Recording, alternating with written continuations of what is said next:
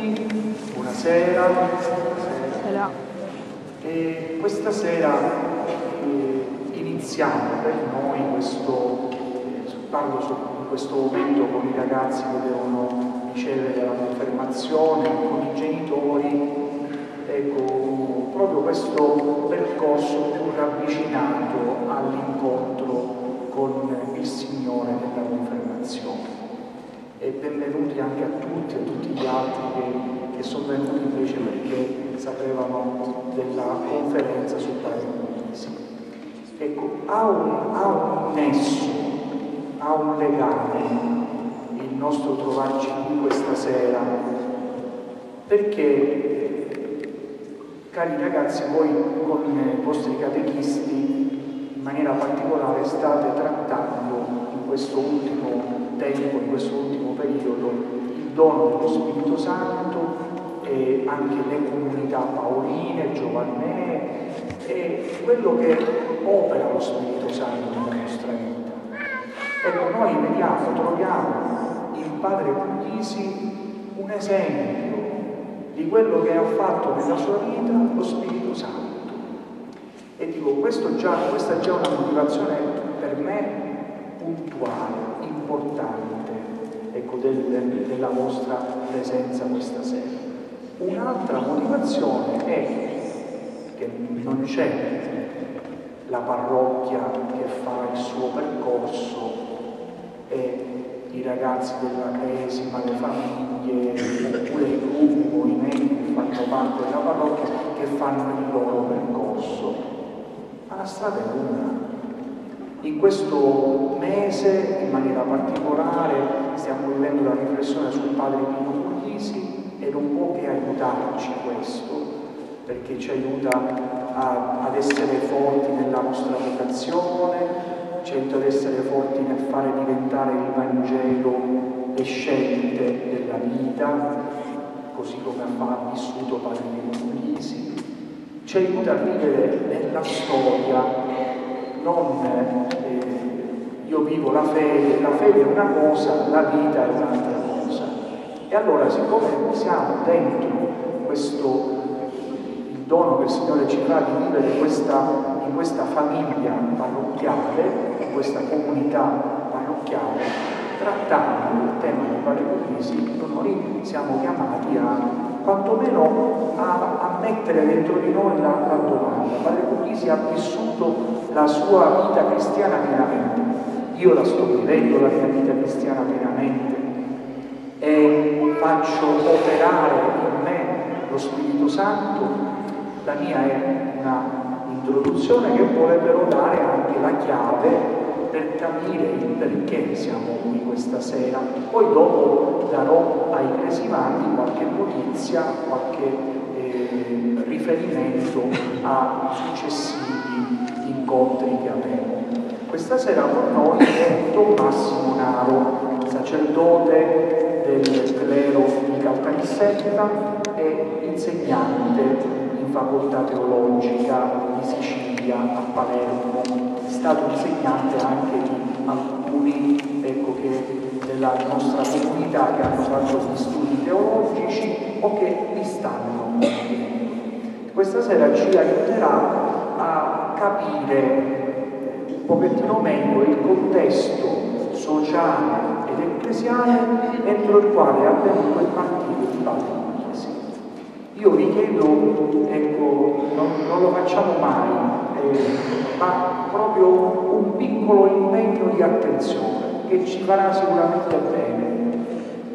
Meglio di andare a di stare davanti al televisore a guardare il teleromanzo o a cercare la trasmissione dove si, vivono, si vincono forse un sacco di premi. Questa sera riflettiamo su una persona, un sacerdote della nostra diocesi che il Signore ci dona come modello, come esempio, perché come Gesù, mite, umile di cuore, ha dato la sua vita per noi. Allora facciamo attenzione, l'incontro, eh, lo diciamo fin da ora, non dura tre ore, dura tre ore meno un quarto, no, sto scherzando. Siamo nell'ordine di un'oretta, poi ci sarà anche un piccolo spazio per qualche domanda, qualche intervento che chiederemo a Don Massimo, oppure ecco, la riflessione. Tu che mentre ascolti nel tuo cuore, nella tua mente, ecco, questa, la parola che, ci viene, dati che ci vengono consegnati dentro di noi hanno un effetto. Eh, eh, e magari ci sentiamo di dire mi ha colpito questa parola, questo passaggio, lo trovo, lo, lo trovo arricchente oppure mi fa pensare, mi fa riflettere o mi fa nascere una domanda. Va bene? Quindi Grazie a voi e grazie a Don Massimo per aver accolto tra i suoi innumerevoli, dovrei aggiungere pure il superlativo, impegni ecco, di essere qui con noi questa sera. Grazie, grazie anche da parte mia a Don Giuseppe per il suo invito e a voi per la vostra accoglienza, se non altro fatto stesso di essere presenti qui insieme stasera. E per me è una piacevolissima scoperta, è la primissima volta che vengo qui nel vostro, nella vostra cittadina, nel vostro paese, prima non ero mai venuto e quindi non lo conoscevo. Difatti ancora non lo conosco, sono qui soltanto da mezz'ora forse. Sono stato praticamente sul sagrato a guardare un po' il panorama e qui dentro, però intuisco il carico enorme di storia che eh, fa da fondamento a questa vostra comunità e eh, intuisco anche il portato di bellezza, dire, l'eredità di bellezza che questa lunga storia si porta dentro e consegna cui voi siete appunto eredi, dovete considerare di essere fortunati di vivere in un posto così, direi oltre che insieme tra di voi eh, o con Don Giuseppe come parroco, direi in mezzo a queste cose, possiamo anche chiamarle in mezzo a queste opere d'arte davvero fortunati, eh, dovete considerare che le cose che qui sono così messe, eh, direi in abbondanza, in abbondanza, ad abbondanza, altrove sono considerate rarità e infatti eh, esposte, custodite nei musei. Per esempio, ho visto nella vostra cappella dell'Eucaristia del Tabernacolo le tele, così 4, 5, quanto sono, di Vito d'Anno. Ho visto che l'ambiente è gaginesco, come anche credo da quest'altra parte dell'altare.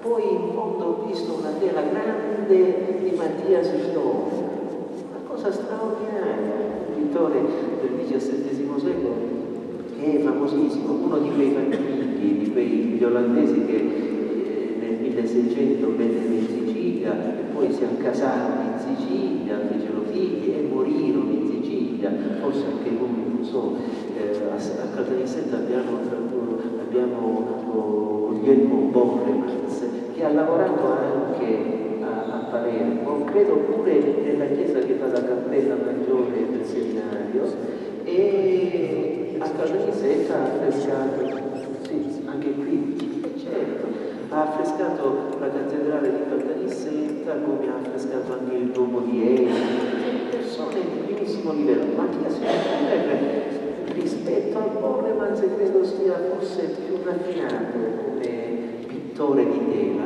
quello era invece un grande affrescatore. E davvero per me è una bella cosa essere qui. Sono qui per parlare di Don Pino Puglisi, non essendo un esperto di Don Pino perché è vero è che ho dovuto fare i conti con lui ormai più volte, da che offro il mio ministero qui nella diocesi di Palermo, nella città di Palermo, presso la facoltà teologica.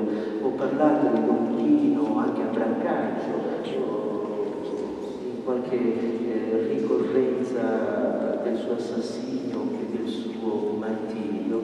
Tuttavia ho sempre guardato con estrema, grande ammirazione, ma sempre come eh, una meta sovraeccellente rispetto alle mie misure. Non dico inarrivabile, ma certamente molto oltre, anche per il fatto di non essere suo confratello, di non essere del suo stesso presbiterio, del suo stesso clero, che invece nel caso di Trombino appunto è il clero stesso, il presbiterio stesso, per esempio del nostro parroco, del nostro Giuseppe Calderone, il clero della diocesi di Palermo. Io sono di un'altra diocesi e quindi ho sempre, ogni volta che ho la possibilità di parlare, di dover parlare di Trombino, accetto per avvicinarmi a mia volta ulteriormente a lui, per tornare un po' a confrontarmi con lui, con i suoi scritti o con la sua memoria biografica, soprattutto con la sua testimonianza. E questa della testimonianza è una cosa importantissima. In greco testimonianza si dice con la stessa parola con cui noi oggi diciamo martirio.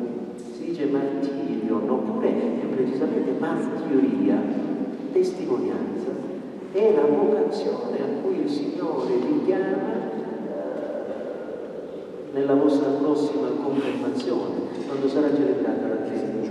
Il 26 giugno prossimo voi sarete investiti o sarete resi partecipi di questa medesima vocazione che Pino Puglisi, come altri santi, altre personalità spirituali, ha portato a compimento della sua esistenza credente, direi in maniera esemplare, non per merito suo, sempre e comunque per grazia del Signore, per dono di Dio, così come avviene, speriamo che avvenga anche in noi, man mano che sviluppiamo i nostri passi, il nostro cammino, progrediamo, sia anagraficamente crescendo nel nostro essere umani, sia anche nei lungo i sentieri della fede, crescendo anche come discepoli di Cristo, come battezzati, come cristiani. E il tema che mi è stato assegnato è appunto questo del, eh, del contesto sociale, eh, direi epocale, sviluppa la vicenda di Don Pino Puglisi. Ed è un tema direi molto bello, interessante, ma anche molto impegnativo, sia perché ancora una volta induce a ricordare un santo della statura di Don Pino Puglisi, statura alta, sia perché esige di collocarne il ricordo in una cornice direi complessa, complessa più che vasta temporalmente, complessa dal punto di vista qualitativo più che grande dal punto di vista quantitativo.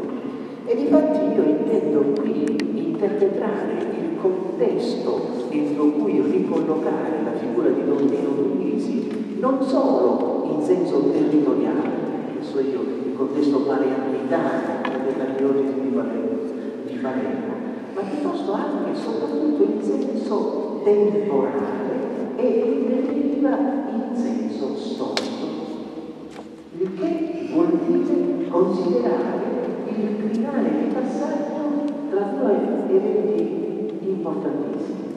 Uno si colloca ancora nella seconda metà dell'Ottocento, un altro invece ormai all'inizio della seconda metà del Novecento, il Concilio Vaticano I e il Concilio Vaticano II. Dirò ora perché scelgo questi due popoli dentro cui colloco la vicenda e tutta la storia di formazione, di sviluppo spirituale, di Don Pino Puglisi.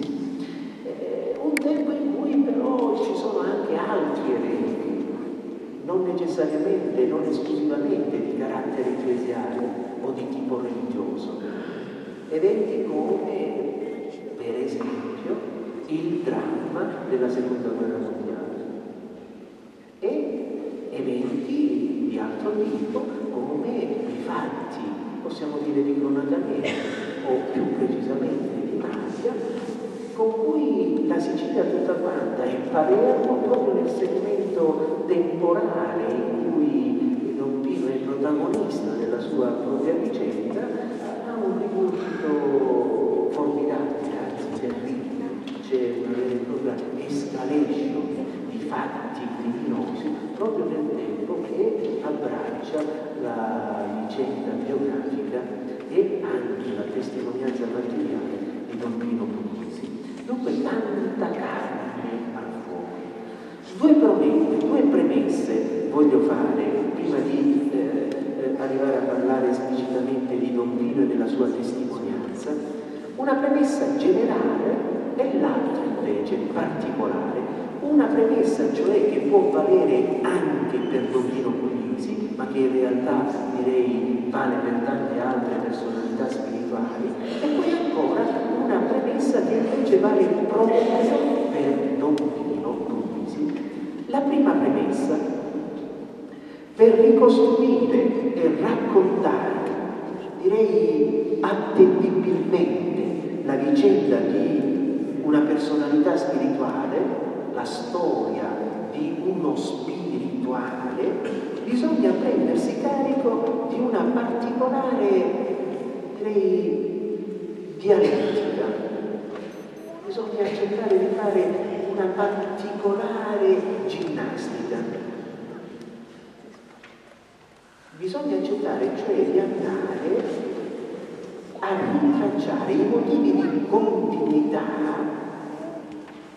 di una vicenda spirituale con tutto il contesto in cui essa si colloca, ma pure andare a scovare i motivi di discontinuità di questa stessa vicenda rispetto al contesto in cui essa si cava.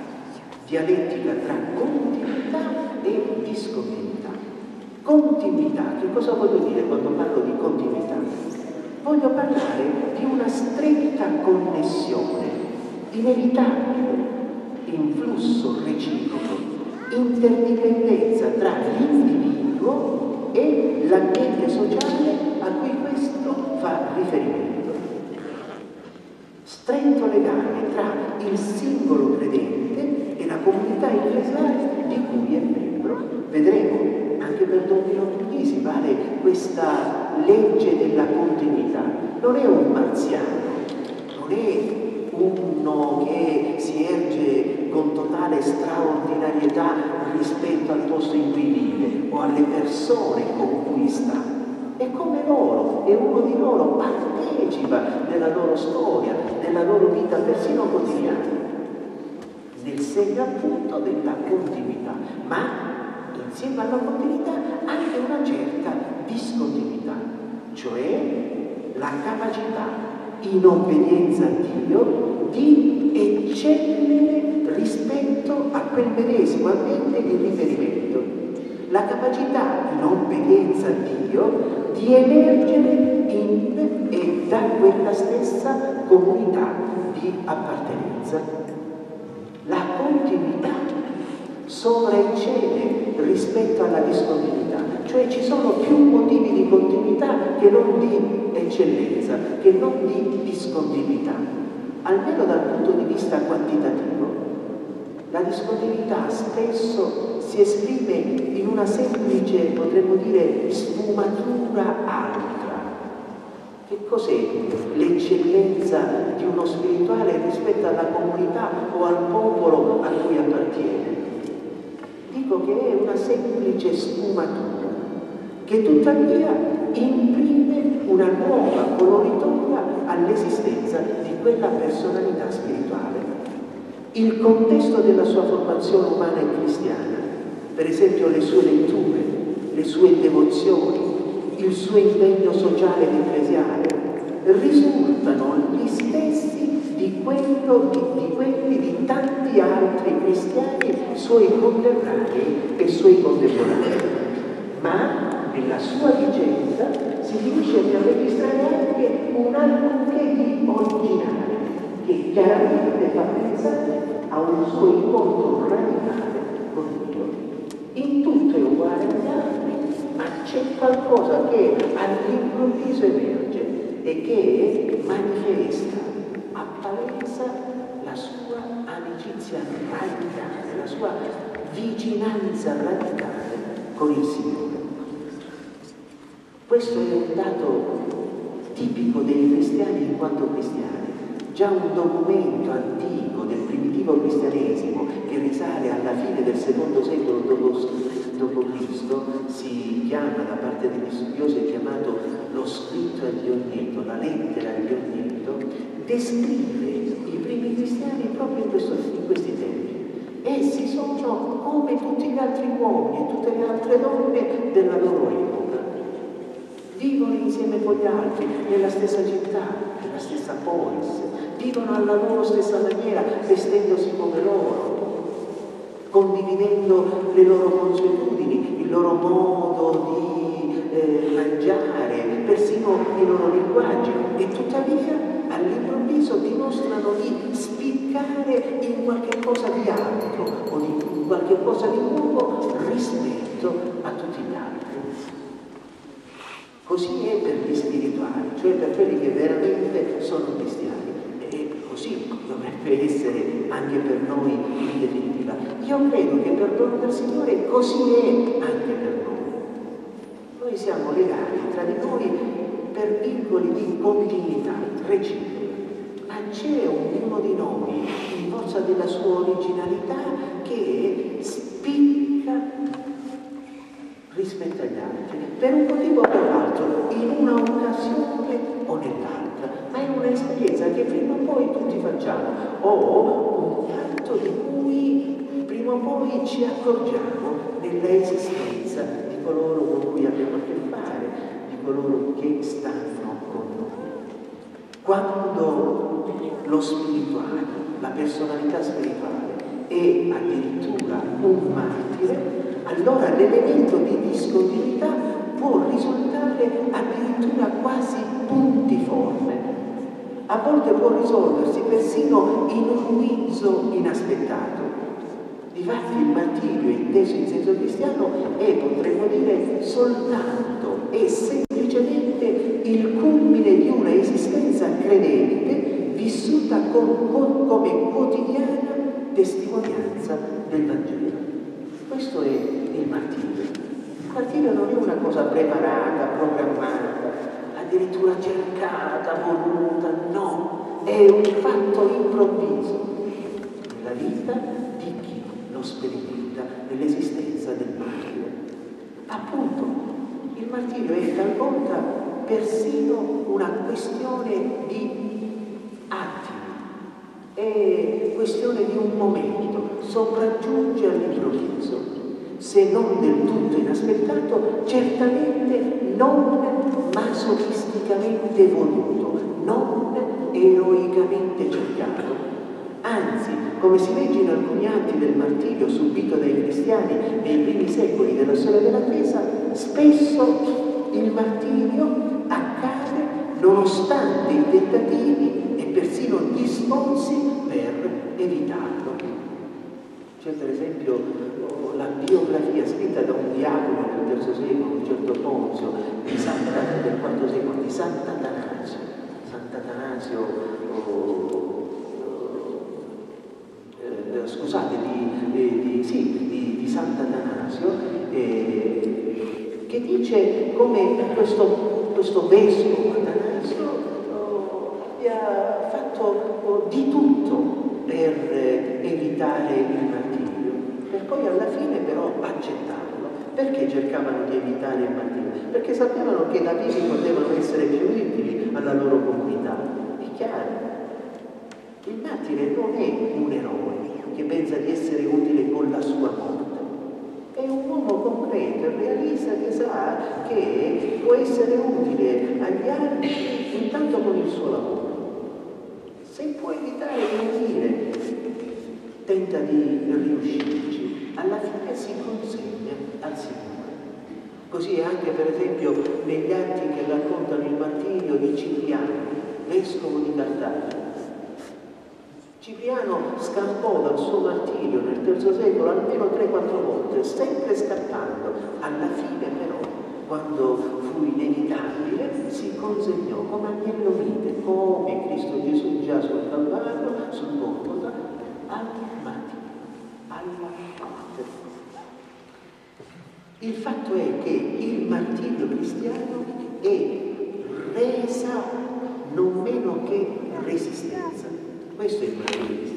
È un atto di resa, un arrendersi, non meno che un atto di resistenza. Vale a dire, il martirio cristiano è consegna di sé a Dio per il bene delle sorelle e dei fratelli più deboli e più esposti all'ingiustizia, anche a costo di cadere per questo nelle mani dei nemici, contro cui si è scelto di combattere sì, ma senza violenza, con le armi della ragionevolezza, oltre che della fede della denuncia argomentale, dell'annuncio profetico, del dialogo fiducioso. È sempre stato così e ancora oggi è così. Ne è una significativa riprova proprio il martirio del beato Pino Puglisi, ucciso a Salerno, come sappiamo tutti, da due killer mafiosi davanti alla porta di casa sua la sera del suo 56esimo compleanno il 15 settembre del 1993. Pure in questo caso, pure nel caso del martirio di Borghese, il martirio è stato questione di un attimo, anche se quest'ultimo attimo è stato coerentissimo a tutta una esistenza credente trascorsa a ragionare, ad argomentare, ad annunciare, a dialogare. Non si può dire che Don Puglisi sia andato con sacro furore incontro alla sua morte violenta, eppure Don Puglisi, sorridente di fronte ai suoi assassini, mentre sussurrava che li stava aspettando, quella sua morte violenta non l'ha considerata come una disgrazia. Non se l'è cercata, ma non l'ha evitata l'ha semmai sperimentata a pieno, con tutto il suo coraggio mite, un coraggio tanto gigantesco quanto più paragonato alla realtà dei sicari, capaci di agire solo orchestrando l'agguato, facendo leva sul fattore sorpresa, proteggendosi nel branco, dissimulando sino all'ultimo le loro reali intenzioni. Sapete come è avvenuto quell'assassinio? e insieme quel martirio. Questi volevano simulare uno scippo, una rapina, volevano farmi credere che erano venuti lì soltanto per rubarmi il borsello, il portafoglio, e invece subito dopo, smascherati dallo stesso colpino, lo uccidono. Smascherati dal sorriso di Don dice me l'aspettavano, lo sapevo. La seconda premessa. Don Pino muore a Brancaccio.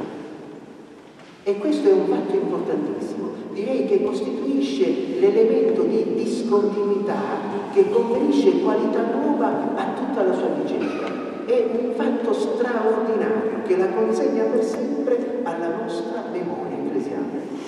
Se non fosse morto lì a Brancaccio, ucciso dalla mafia, oggi noi non parleremo di lui, non solo perché forse sarebbe ancora vivo, ovviamente, un po' più anziano di allora, ma certamente ancora tra di noi. No, no, probabilmente sarebbe morto, chissà, per i vari motivi che la nostra eh, parabola biologica deve, ci fa mettere sempre in conto, va bene? Ma forse non parleremo di lui perché proprio questo, questo sigillo che lo consegna, come dicevo, alla nostra memoria ecclesiale. Il suo martirio è il punto di discontinuità rispetto a una vita ordinaria, a una vita come quella di tutti gli altri ed è perciò il motivo per cui bisogna ricordarlo. La sua morte, se è davvero martirio, è un evento che illumina da parte di Dio la sua vita di cristiano e la sua missione di a Palermo è questo suo martirio una luce che imprime e lascia trasparire colori che altrimenti non sarebbero più emersi dalla sua storia personale. dire, come qualcuno ha detto negli anni scorsi, che la morte martiriale del parroco di Brancaccio non ha peso specifico nell'insieme della sua vicenda, equivale a dire che la croce del Golgota non specifica la missione di Cristo Gesù. Sarebbe stato lo stesso parlare per noi oggi, ricordare oggi noi tutti Cristo Gesù se non fosse morto in croce. Tuttavia, se è vero che Don Luisi muore a Brancaccio, è anche vero che Don Luisi non cresce a Brancaccio. Questa è la continuità che voglio rintracciare. Don Pino Puglisi ha maturato il suo profilo di testimone di Cristo già prima di arrivare a Brancaccio e già quando è parroco a Godrazzi e poi incaricato della pastorale vocazionale per la diocesi di Palermo. Ho visto qui tra i pannelli alcuni scritti suoi semplici, olografi, con la sua stessa grafia, appunti su pizzini di carta, che risalgono proprio a quel suo servizio per il centro vocazionale diocesano di Palermo. Già quando faceva questo tipo di servizio ministeriale, questo tipo di eh, servizio alla comunità, già allora dico, egli capisce che il suo fare il prete non può prescindere dal suo essere prete. Fare il prete, ma soprattutto essere prete. In quegli anni Già egli non semplicemente svolge, secondo le varie forme pastorali che gli vengono, come dire, eh, comandate, che gli vengono affidate, il suo ministero sacerdotale, ma piuttosto vive radicato nel mistero di Dio e comincia a guardare e a vedere con gli occhi di Dio il mondo, la Chiesa, i giovani della sua diocesi, la gente del, della sua parola. Nella scia di queste due premesse possiamo dunque cogliere il senso del martirio di Don Puglisi, registrandolo lungo un finale di passaggio, dicevo, tra i due concili, il Vaticano I, che rimonta al 1870, e il Vaticano II, che invece è dei primi anni 60, si conclude nel 1965. Perché chiamo in causa questi due concili? Perché essi sono il simbolo di due differenti visioni della Chiesa, una societaria e l'altra invece comunionale. Il Vaticano I, una visione di Chiesa societaria, la Chiesa è una società vera e propria, anzi la società più bella e più perfetta che ci possa essere tra gli uomini. E come tale è strutturata, come tale è organizzata, direi gerarchicamente cioè ordinatamente c'è chi ha certe responsabilità e quindi deve stare a monte e c'è chi invece deve collaborare e quindi deve stare appresso e c'è poi chi deve fruire del loro impegno pastorale. Questa era la visione della Chiesa come società bella, perfetta. Con il Vaticano II si afferma una nuova comprensione della Chiesa stessa, piuttosto comunionale. La Chiesa è un mistero di comunione. La Chiesa scaturisce dal seno di Dio stesso, che è agape trinitaria, che è amore tra il Padre, il Figlio e lo Spirito Santo. È come la traccia di quell'amore che Dio stesso è in sé per sé nella comunione tra il Padre, il Figlio e lo Spirito Santo. E perciò la Chiesa stessa vive con questo imprinting fondamentale, vive di questo DNA fondamentale che è l'amore divino, che è l'agate trinitaria e vive di conseguenza, vive direi in termini più circolari, in termini più reciproci, più vicendevoli. Don Pino è un prete che si colloca in mezzo al cammino che va dalla Chiesa societaria alla Chiesa comunitaria.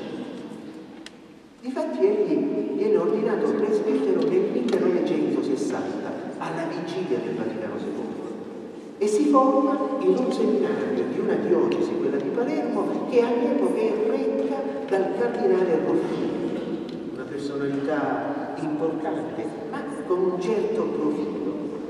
vive cioè al crocevia tra queste due prospettive ecclesiologiche, quella societaria di cui per esempio ancora il cardinale Ruffini è un importante rappresentante e quella comunale. Vedremo che lo stesso Ruffini è quello che insegnerà il mestiere, del, il mestiere, della, il mestiere della missione, della comunione al giovane presbitero Don Filipe. Vedremo in che senso. Mi permetto di stabilire alcune date e alcuni dati anagrafici più importanti per poi fare come tre sottolineature o tre zoomate della vita di Don Filipe. Don Pino nasce a Cartaccio nel 1937 nel 1953 entra in seminario a Palermo. Sono gli anni, come dicevo, dell'episcopato del cardinale Ruffini, il quale sta rinnovando effettivamente la pastorale parrocchiale in città, conferendole un tratto sociale che prima non aveva. Non è un caso che i due progetti pastorali, cui Ruffini teneva maggiormente, il villaggio dell'accoglienza, così verrà denominato, e poi ancora il villaggio cardinale Rossini che raccolsero centinaia di famiglie senza tetto all'indomani della seconda guerra mondiale, questi due progetti pastorali del cardinale Ruffini consistevano in parrocchie affiancate da un centro sociale. Era un nuovo modo di essere missionari nella città, che si ingrandiva sempre più e che tentava di risorgere dalle macerie lasciate dalla guerra. Lo stesso cardinale Ruffini fondò in quel giro di anni le cosiddette assistenti sociali missionari, che avrebbero interpretato l'esperienza cristiana non solo come culto, ma anche come cultura. Il giovane seminarista assorbe questa tensione missionaria, rivolta, potremmo dire con una espressione eh, che usavano oh, i missionari del Settecento in Sicilia, rivolta alle Indie di quel I missionari del Settecento, nel, nel primo Ottocento, invece di andare in Cina o di o di andare in America Latina, a volte preferivano fermarsi nel meridione d'Italia, in Sicilia soprattutto, perché erano come l'Africa di qui. Era, la Sicilia era come le Indie di qui, cioè aveva grande bisogno di servizio pastorale, di missione. Benissimo. Il giovane seminarista, Pino, assorbe questa tensione missionaria e assimila il modello presbiterale proposto da Dolfini. Il prete deve essere libero da interessi personali e familiari, deve essere libero da tornaconti economici, inattaccabile sul piano morale, attento verso i poveri, sensibile verso il valore della pietà popolare. Ancora non è eh, stata promulgata dal Concilio oh, la Sacrosanto Concilio sulla, sul valore, sulla bellezza e sull'importanza principale della liturgia. Infine, il prete deve essere sempre obbediente al vescovo. Questo insegnava nel seminario a chi si preparava a diventare presbitero. Don Pino Puglisi assorbe questo insegnamento, assimila uh, questo ideale, eh, si eh, cerca di, di, di rifarsi, di configurarsi a questo modello. Egli viene ordinato presbitero, dicevo già, nel 1960 e vive i suoi primissimi anni di ministero praticando il modello ideale di prete appreso in seminario, soprattutto vivendo l'attenzione ai poveri, a Sette d'Annone, nel quartiere Scaricatore, ancora dirottato dalle bombe della, guerra, della seconda guerra mondiale. Il fatto di essere mandato in parrocchie di periferie, sempre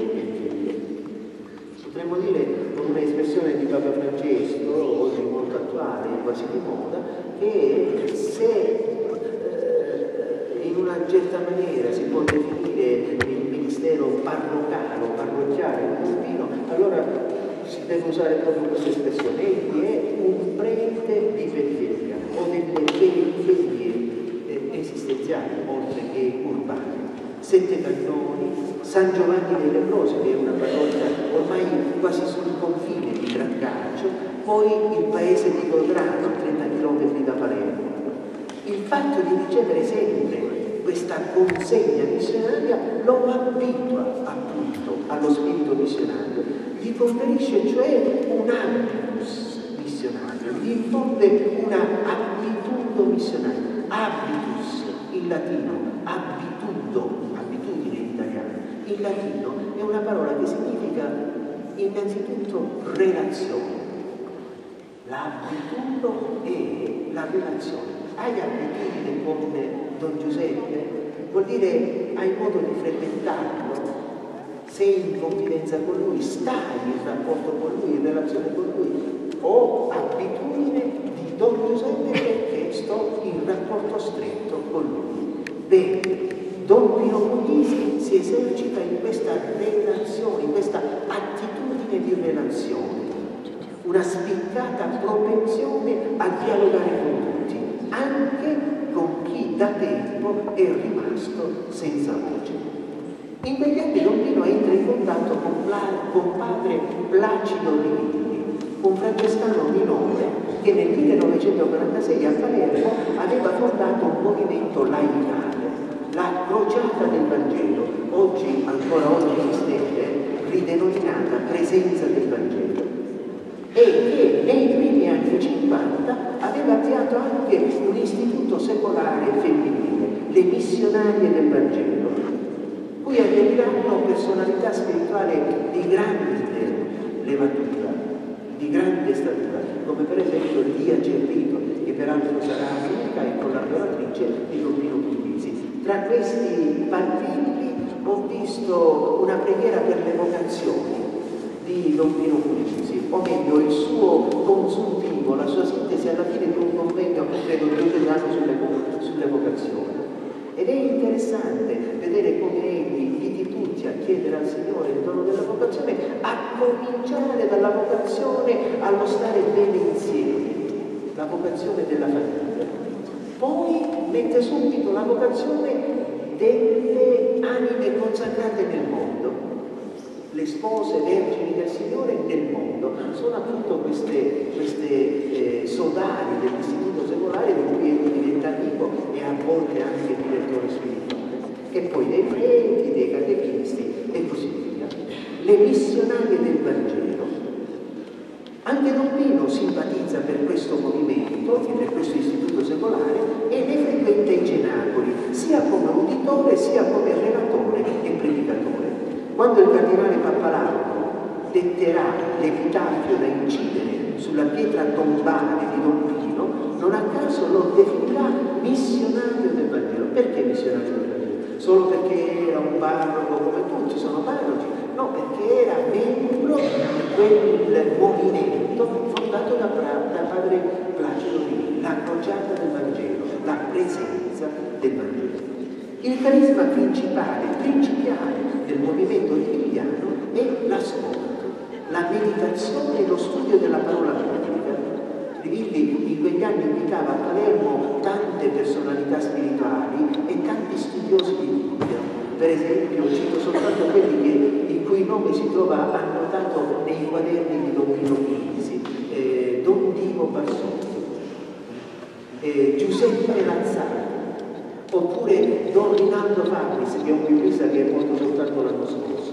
Sono tutti persone che Don Rivi, Padre Rivi invitava per la formazione, per l'educazione alla fede suo, dei soldati del suo movimento qui a Palermo e con cui Don Pino, ancora giovane, ebbe la grazia di incontrarsi e di confrontarsi e perciò di diventare quello che sarebbe stato, cioè il martire di Montaggio. La parola di Dio è per i suoi amici risposta alle domande di senso suscitate dal conflitto mondiale, domande che tutti si pongono a quell'epoca, anche i laici. Si pensa agli anni difficili dell'immediato secondo dopoguerra nell'Europa materialmente distrutta e moralmente prostrata. Si pensi al travaglio socio-economico e soprattutto culturale che le nazioni dovettero affrontare per rialzarsi dalle macerie. Si pensi inoltre al brulichio operoso e speranzoso di quanti, ora con quasi anonima discrezione, ora invece con incontenibile entusiasmo, lavorarono per dare un volto nuovo anche alla Chiesa per rinnovarne la vita liturgica, per riformarne la prassi pastorale, per ripensarne la teologia. È tutto quel lavorio che si colloca alla vigilia del Vaticano II. Don Pino Puglisi, che diventa prete prima del Vaticano II, in realtà respira tutto questo nell'aria e assimila tutto questo, anche frequentando padre Rivitti. Avviene poi l'evento dello Spirito, così l'ha definito Don Giuseppe, eh, eh, padre Giuseppe Dossetti, il Concilio Vaticano II con cui culmina il processo di rinnovamento che è al contempo spirituale. Pensate per esempio a che cosa significa l'insegnamento del Magistero, per la, del Magistero conciliare per la vita spirituale dei, dei battezzati, eh, a partire da quella vocazione universale alla santità che tutti i battezzati in quanto tale devono sapere di avere ricevuto da parte del Signore. Lumengesimo numero 40, Lumengesimo numero 50. Tutti siamo chiamati alla santità ugualmente. Oppure il rinnovamento liturgico, la Sacrosanto Concilio. Oppure ancora rinnovamento biblico, lo studio della parola di Dio e anche l'alimentarsi alla parola di Dio e il rinnovamento teologico. Sono gli anni in cui sorgono nuove riviste teologiche che magari chi ha frequentato gli studi teologici conosce, ma che in realtà hanno fatto la storia del rinnovamento anche ecclesiale nel dopo concilio. Due ne cito, una si intitola Comunio, appunto, e l'altra si intitola Concilio. E sono gli anni in cui un teologo come Baltasar, era un teologo svizzero lingua tedesca, scriveva un libricino che veniva tradotto, e la prima sua opera tradotta in Italia da un gesuita di Napoli, Alfredo Marranzini, con il titolo significativo Abbattere i bastioni. La Chiesa del Concilio vuole abbattere i bastioni, vuole uscire fuori, non vuole più sentirsi assediata come una cittadella medievale, vuole mettersi in cammino attraverso il mondo. È per questo che lo stesso Don Pino, eh, in un consiglio pastorale che si tiene a Codrano, scrive queste cose che sono rimaste annotate. Occorre passare da una pastorale di difesa a una pastorale missionaria. Sono parole di Don Pino. Negli anni 80 Don Puglisi dirige il centro vocazionale diocesano e poi anche il seminario minore. Nelle sue carte di quel periodo si legge con frequenza che la Chiesa è sacramento. Anche questa è una bellissima parola che Don Pino eh, assimila dall'insegnamento magisteriale, dal magistero del, del, del Concilio Vaticano II. Quando il Concilio Vaticano II dice che la Chiesa è sacramento, dice una cosa importantissima. Dice che la Chiesa non deve più crogiolarsi nelle secchie della propria autoreferenzialità e della propria autosufficienza. La Chiesa non è fatta per se stessa, è fatta per qualcun altro. La Chiesa è come un segno che rimanda a un altro, a Cristo Gesù, che rimanda a un altro orizzonte l'orizzonte stesso di Dio. Non concentra su di sé, non catalizza verso di sé l'attenzione del mondo, della gente, delle persone, ma conduce tutti oltre di sé all'incontro con il Signore. Don Pino insiste su questo tema, dice spesso che la Chiesa è sacramento, ma nei suoi appunti si legge anche che la Chiesa è il corpo stesso di Cristo questo in continuità con una ecclesiologia precedente al Vaticano II. Vaticano II dice, insiste sulla ecclesiologia di comunione, ma stata una ecclesiologia anch'essa di tipo sociale, comunitario, la ecclesiologia del corpo stesso di Cristo, che è la Chiesa in senso mistico. Don Pino nei suoi scritti frequenta tutti e due questi registri ma interpreta personalmente sia il Magistero del Vaticano II sia l'insegnamento precedente. Per esempio, se, in, interpreta in senso iconologico la ecclesiologia del corpo mistico di Cristo, portando i suoi giovani, quando era animatore del centro vocazionale diocesano, pellegrini nel Duomo di Monreale e facendo loro contemplare il Cristo pantocratore che è iconografato nell'abside maggiore della cattedrale di Monreale. Ce l'abbiamo tutti presente in mente.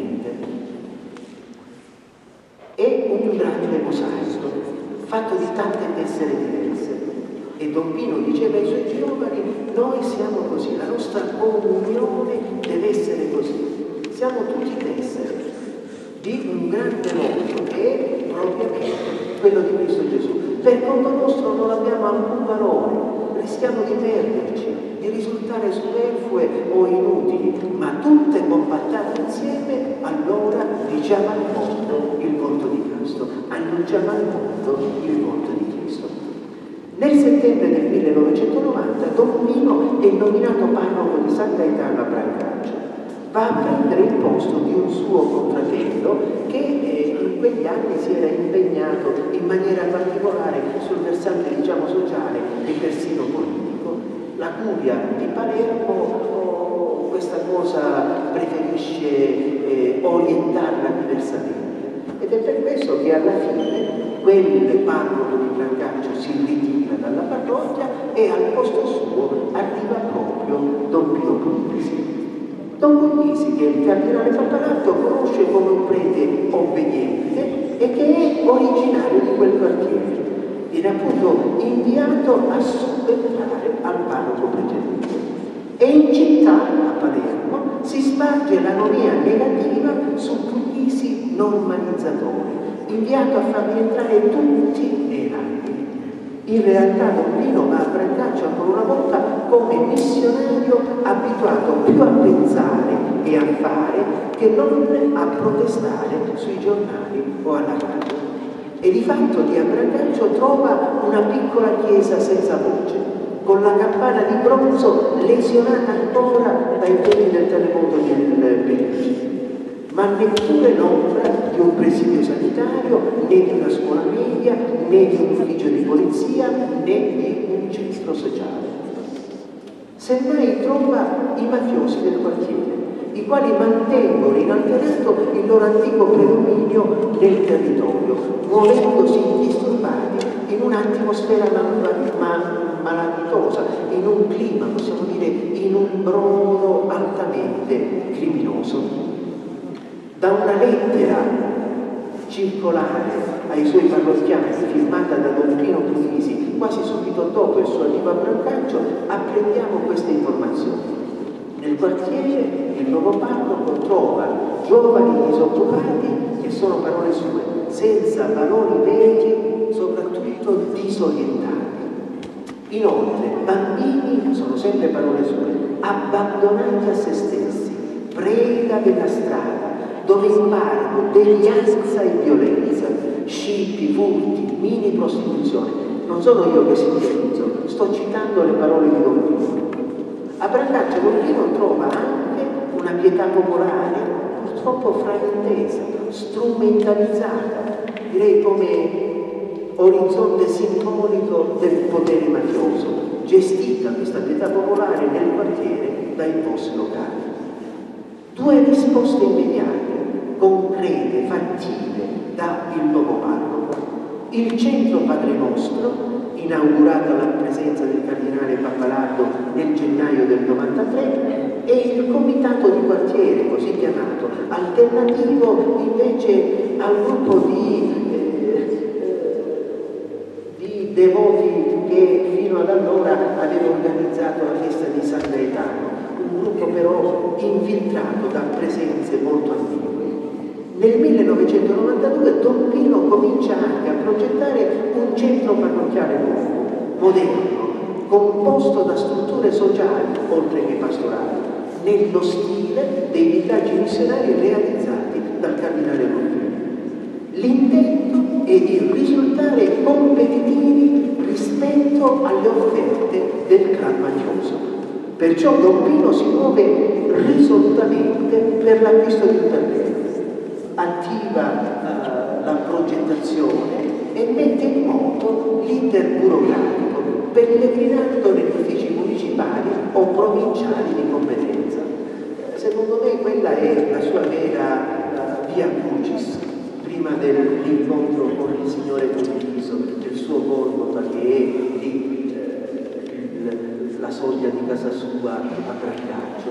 Eh, ho appreso leggendo una intervista rilasciata qualche mese fa eh, da fratello Biagio Conte, che a Palermo anima eh, la missione Speranza e Carità, che eh, fratello Biagio conobbe Don Pino Puglisi proprio nella mattinata del giorno in cui egli fu alla fine ucciso, a sera. Eh, trascorsero la mattinata entrambi facendo anticamera, quel 15 settembre 1993, facendo anticamera tutti e due insieme eh, nell'ufficio, nel gabinetto del sindaco Leoludo Orlando. Don Pino oh, gli chiedeva aiuto per creare una scuola media, guardate che cosa, a Brancaccio, mentre Fratelli Biagio gli chiedeva qualche locale per i suoi barboni. una sorta anche, non lo so, di staffetta, almeno così lui stesso la intende, fratelli Agli. Non l'aveva mai prima conosciuto, non lo vedrà più, perché la sera di quel giorno Don Pino verrà ucciso. Per concludere, tre sottolineature riguardo ai criteri che possono permetterci di decifrare l'esperienza martiriale di Don Puglisi. Un primo criterio, attenzione, uso tre espressioni che traduco subito, va bene? Il criterio del sub-evangeli luce. Nei documenti del Concilio questa espressione latina significa sotto la luce del Vangelo, alla luce del Vangelo. Questo è un primo criterio. Il criterio di stare alla luce del Vangelo. Don Pino imposte il suo servizio parrocale sempre a partire dal discernimento, che è operazione non sociologica, ma spirituale e pastorale. E il discernimento una cosa che si fa forza della parola di Dio, assunta come chiave di lettura della situazione in cui si vive. Questo era il metodo che aveva preso alla scuola di Padre Rimini alla crociata del Vangelo. Al criterio del discernimento Don Pino accompagna la preghiera, anch'essa fatta con la parola di Dio, come leggiamo nei suoi appunti. Cito una espressione di Don Pino. Dacci il nostro pane quotidiano. Che significa? Intanto chiediamo a Dio Padre che ci dia il pane.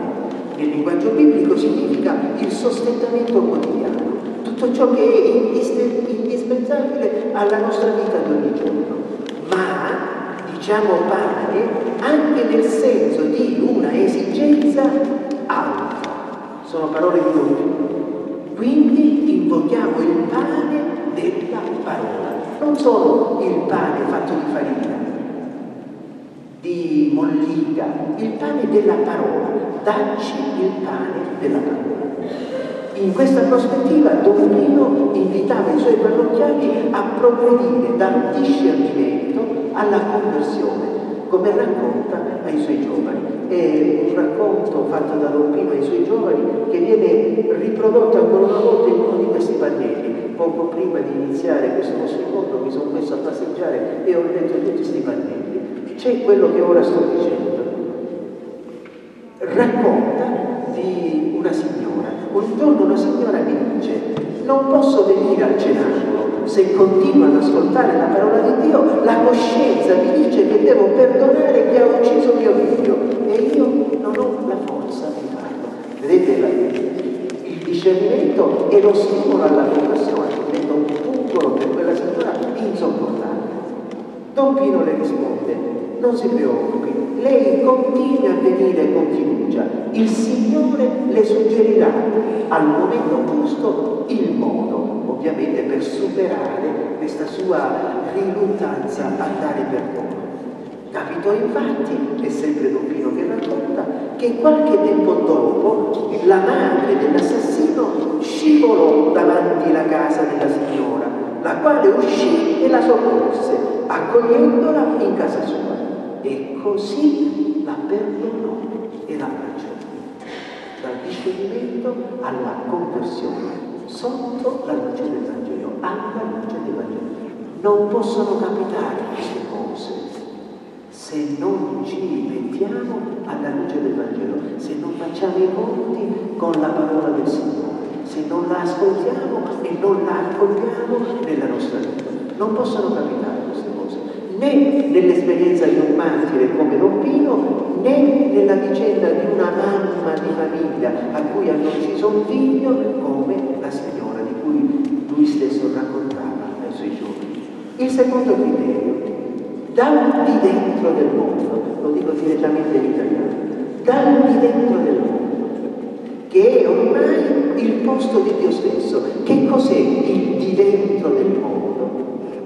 È il posto in cui Dio si è calato in Cristo Gesù, in cui si è reso presente, in cui si è innestato, in cui è venuto tramite Cristo Gesù per le strade, nelle periferie, a contatto con la gente, faccia a faccia con le persone, a testa alta, per dirla con il titolo di una biografia di Don Pino pubblicata dalla giornalista Bianca Stancanelli nel 2003. A testa alta. Questo vuol dire per Don Pino Puglisi essere a Brancaccio e vivere il suo servizio ecclesiale dal dentro del mondo in mezzo alla gente, in mezzo alle loro fatiche. Questo stare in seno al mondo è per Don Pino concreta esperienza credente, come leggiamo ancora nella trascrizione di una sua catechesi. Sono parole sue. La speranza per San Giovanni, sta commentando il Vangelo di Giovanni, la speranza per San Giovanni non va posta al di là del mondo, anche se lo supera, ma è nel mondo come occasione di progresso, come possibilità di miglioramento dell'uomo. Ed è un comune e comunitario impegno missionario che la parrocchia deve adempiere superando ogni sorta di clericalismo e lasciandosi avvincere da uno spirito, dice lui stesso, samaritano. Queste sono le sue parole. Chiesa di frontiera, dobbiamo imparare ad essere. Le periferie, chiese in uscita di Papa Francesco, cioè quello lo dice molto prima, ma perché è così? Anche Bergoglio lo diceva molto prima, quando era prete e poi vescovo ausiliare lì a Buenos Aires. Chiesa di frontiera, pronta a farsi carico dell'uomo che vive, che soffre, che muore, decisa sempre a essere dalla parte dell'uomo, sul cui volto brilla l'immagine del creatore sempre parole sue. Nella parrocchia tutta la pastorale dovrebbe essere attraversata dalla linea vocazionale missionaria, giacché tutti siamo chiamati e tutti siamo mandati. Terzo e ultimo criterio, la missione e la comunione. La missione è con l'accento la comunione. Missione e comunione. La parrocchia missionaria è, secondo Don Puglisi, espressione di una Chiesa non autosufficiente, non autoreferenziale, finalmente capace di mettersi in contatto con gli altri, capace di stare in relazione. Come gli spiega, con una serie di compiti e di verbali che si illuminano ma anche si possiamo dire, desacralizza la vicenda. Sono le voci verbali che lui annota in uno dei suoi pensieri. Così scrive, la Chiesa è un'assemblea di persone. Può essere edificata solo pregando e studiando. La prima coppia, pregando e studiando. Non solo pregando, ma anche studiando, cioè pensando sul serio circa i problemi, le questioni della vita di ogni giorno. Ma non solo facendo questo, anche pregando. Guardate, questa è una intuizione che attraversa tutta la storia della spiritualità cristiana e che rimonta alle icone evangeliche di Maria di Nazareth e di Giuseppe di Nazareth. Dice l'Evangelista Matteo che Giuseppe ha il sogno che gli spiega come stanno le cose, come si deve orientare nelle scelte che deve fare, mentre stava pensando a quelle cose.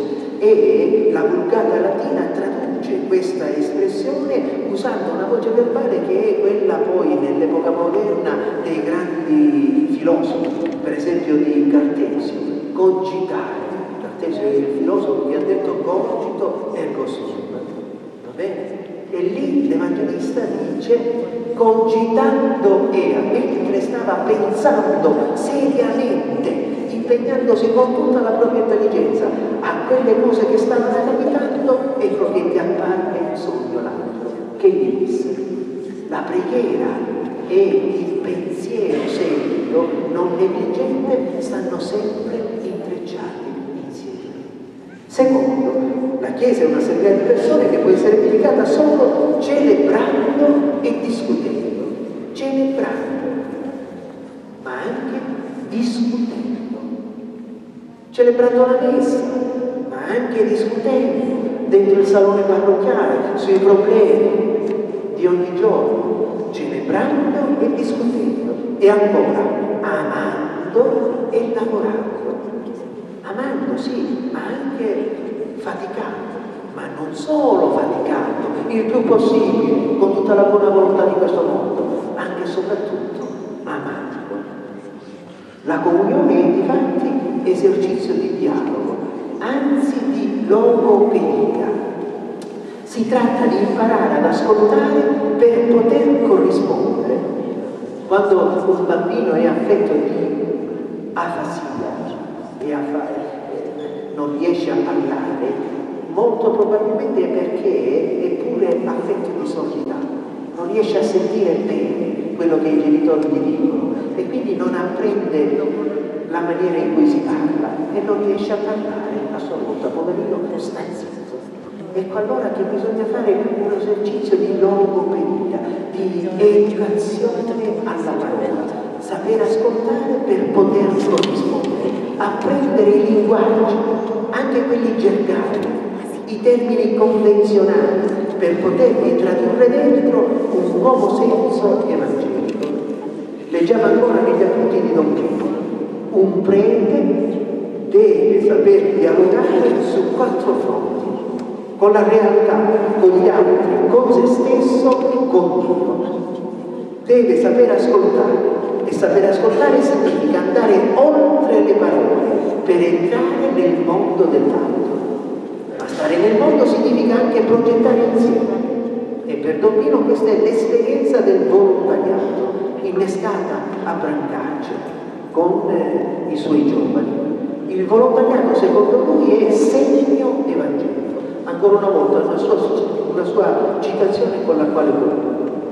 Non può essere considerato il volontariato e non può essere vissuto come una realtà semplicemente sociale e sociologica che supplisca alle inadempienze della pubblica amministrazione, ma deve essere piuttosto considerato e vissuto come un segno evangelico sostenuto dalle virtù cristiane, dall'umiltà, dal sacrificio, dalla carità.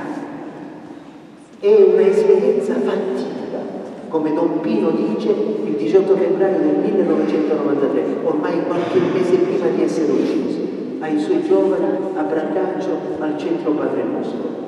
L'azione dei volontari e delle suore del centro Padre Nostro deve essere come un segno per cercare di muovere tutto l'ambiente, per cercare di dare un modello di comportamento agli altri per spingere le autorità a fare il loro dovere affinché tutti a poco a poco si sentano coinvolti.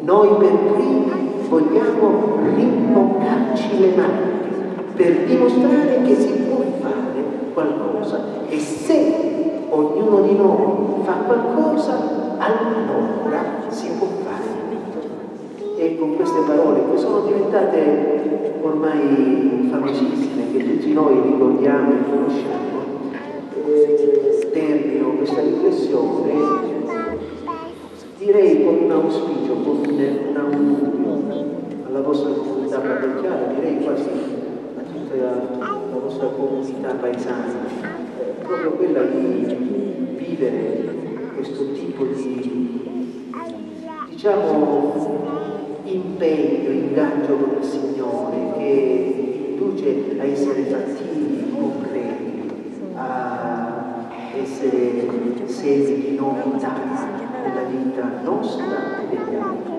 coloro con i quali noi condividiamo le nostre giornate, condividiamo la nostra storia.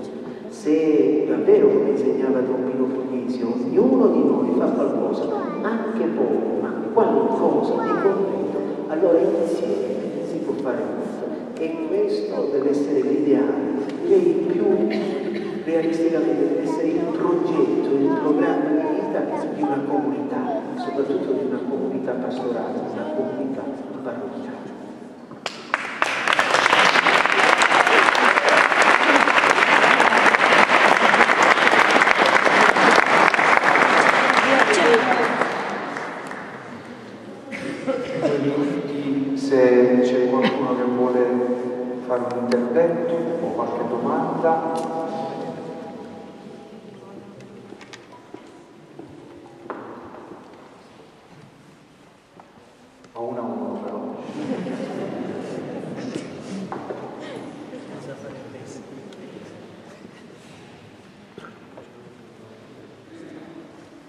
penso che ormai siamo diventati sempre più familiari con la figura di Don Pino Puglisi, eh, sia per gli incontri a lui dedicati qui negli anni scorsi, mi pare di aver capito, sia per quelli che già avete fatto quest'anno, in questo mese di maggio. E quindi ormai l'incontro il confronto con lui deve cominciare a diventare personale cioè ognuno di noi deve incontrarsi con lui personalmente. E più che sentirne parlare o addirittura parlare, ecco, tentare di parlare con lui, parlare con lui con la sua testimonianza con i suoi scritti, parlare con chi non c'è più significa innanzitutto ascoltare. È lo stesso atteggiamento che viviamo quando parliamo col Signore quando parliamo col Signore innanzitutto ascoltiamo il Signore, ci mettiamo davanti alla sua parola, ci lasciamo investire e ci mettiamo a meditare sulla sua stessa parola più che sulle nostre parole. Forse lo facciamo magari ad alta voce con le nostre parole, ma questi sono echi della sua parola. Questo accade anche quando ci confrontiamo, che so io, con un autore della letteratura oppure quando ci confrontiamo con una personalità spirituale di altissimo livello come Doppino Puntesi. Per questo dico dobbiamo personalizzare ormai sempre più il nostro rapporto con lui, mettendoci in ascolto della sua testimonianza, della sua vicenda, anche se ne disponiamo dei suoi scritti. Forse nel caso di Don Pino Puglisi ci è data la grazia persino di metterci in ascolto della sua viva voce, perché esistono le registrazioni delle sue catechesi e delle sue omelie. E quindi si può fare anche questo, mettersi insieme ad ascoltare la sua voce, per poi magari insieme riguardo a quello che di volta in volta di lui e da lui si va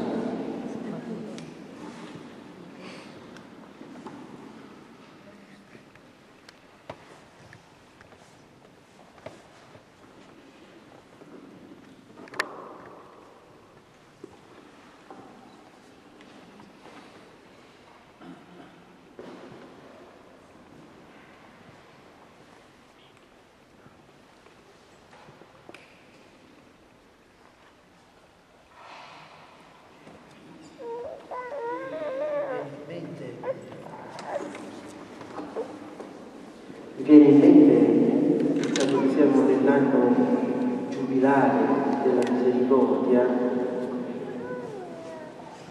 eh, un episodio della vicenda di Orbino nella sua parrocchia a San Gaetano a Brancaccia, una sua omelia che fu molto forte nel toni usati da lui in quell'occasione e che fu anche fraintesa dai mafiosi del quartiere che certamente non andavano ad ascoltarlo in chiesa, non andavano a messa, ma che si basavano sul eh, reso conto che di volta in volta eh, qualche amico andava a rendere loro. E essi avevano capito che in quell'occasione Don Pino li avesse sfidati pubblicamente perché lui aveva detto vi invito a venire parliamo, diciamoci le cose a quattro occhi. Per loro sembrò una sfida, perché nella loro sintassi comportamentale, prima ancora che intellettuale, eh, questo significava, parlare a quattro occhi significava entrare in Bibbia, fare la guerra, sfidarsi appunto. Per Don Pino invece era un atto di dialogo, una scelta di dialogo, franco, onesto, e in quella stessa occasione lui aveva detto c'è sempre tempo per tutti noi, c'è sempre tempo per tornare indietro anche per voi. Ovviamente alle orecchie dei mafiosi del Plantaggio questo poteva risuonare come un invito ad arrendersi. E Don Pino forse questo invitava a fare, arrendersi, ma non certo a lui, piuttosto al Signore, una buona volta. E alla dignità dell'uomo, dell'essere umano, finalmente, lì a Brancaccio. E quello che voglio sottolineare è questa possibilità ad oltranza che Don Pino oh, annunciava, non dava, non concedeva, ma eh, annunciava ai mafiosi di Brancaccio. C'è sempre possibilità. E questo è un tratto tipico della misericordia del Signore dare sempre tempo, dare sempre possibilità. Eh, emerge dalle parabole del maestro di Nazareth continuamente, per esempio la parabola del servo spietato, che prima si appella per aver condonato il proprio debito al suo padrone e datore di lavoro, chiedendogli di essere magnanimo, longanimo, di essere appunto paziente avere pazienza e poi invece lui stesso non ne ha con il suo collega, con il suo compagno. E il suo peccato non è avere un debito che non riesce a saldare col suo padrone, ma piuttosto non riuscire a avere pazienza con il suo fratello. E la misericordia è proprio questione di pazienza, che non significa però questione di acquiescenza, nella stessa parabola gli altri servitori provano scandalo, si offendono per il comportamento ingiusto di quel servo spietato e vanno dal padrone e vanno a chiedere giustizia al padrone. La misericordia è questo intreccio di pazienza, di pietà, di compassione, ma anche di scandalo, di eh, reazione male. È un mistero la misericordia e credo che Lontino lo abbia interpretato proprio negli anni in cui fu parroco a Brancaccio, in quel brodo, dicevo prima, di tipo criminoso. E senza dimenticare lo stesso Lontino che il peccato degli uomini, non solo dei mafiosi, anche il nostro, è sempre un grande abbaglio, è sempre un errore. Il peccato, noi per andare a confessarci, forse nella catechesi ai ragazzi lo si insegna ancora, ci sono delle condizioni perché ci sia il peccato e per capirlo nella nostra vita e poterlo poi confessare bene nel sacramento della penitenza e della riconciliazione la lucida avvertenza, il deliberato consenso all'atto formale, tutte queste cose, va bene? Va bene? E tutto questo fanno del peccato stesso una sorta di reato, lo fanno assomigliare più a una colpa che non a uno sbaglio. E invece nelle parabole di Gesù il peccato è sempre presentato come uno sbaglio madonnale. Lo stesso Gesù in croce dice perdona loro perché non sanno quello che fanno. Amartia è la parola greca che nei Vangeli viene usata per dire peccato, significa sbaglio. Il cacciatore a quell'epoca andava a caccia, puntava la sua preda con il suo arco, però sbagliava, sbagliava volutamente, no, evidentemente non volendo, perché il suo interesse era colpire la preda e portarsela a casa per mangiare. Sbaglia pur non volendo, questo è per Don Pino, che parla in di Brancaccio, il peccato è questo sbaglio maleonale, ma c'è sempre tempo per capire di avere sbagliato e per recuperare. Se il peccato non è un reato, come quelli di cui bisogna rendere conto nei tribunali dello Stato, davanti ai giudici e ai poliziotti, ma è qualcos'altro, uno sbaglio, un non sapere quello che si fa, come nella parabola del figlio prodigo quello si disorienta, perde la strada di casa, se ne va, piglia un abbaglio, capisce che essere figlio significa una cosa e invece significa tutt'altra cosa, tant'è che quando ritorna addirittura fraintende ancora di più ed è disposto persino a non essere più figlio, ma piuttosto a essere un salariato, a essere un servitore. E il padre gli fa capire che no, essere figlio significa piuttosto essere accolto, essere abbracciato, perché il peccato del figlio è stato quello di essersi allontanato e di averne non compreso il proprio stato di figliolanza. Se uno si allontana perché non sa di essere figlio, non ha da essere perdonato e non ha neppure da espiare il peccato, ha solo da ritornare a casa e da essere accolto. Per questo si deve fare festa e si deve gioire insieme. Don Pino queste cose secondo me le predicava cantando.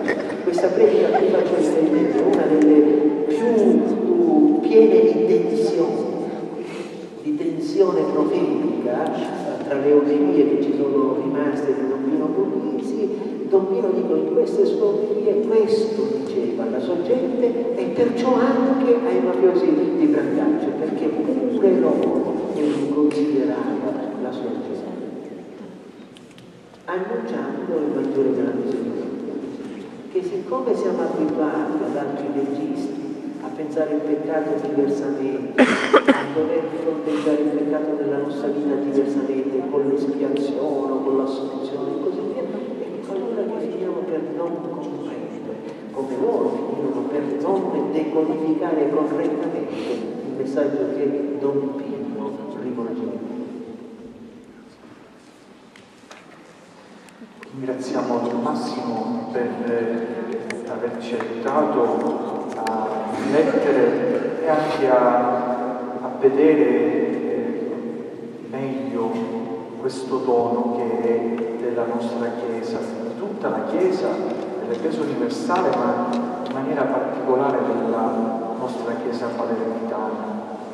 E grande, anche questo potrebbe essere un peccato, cioè non capire la valenza di questo dono, del dono che il Signore ha fatto alla Chiesa palermitana e a noi del martirio di Dio.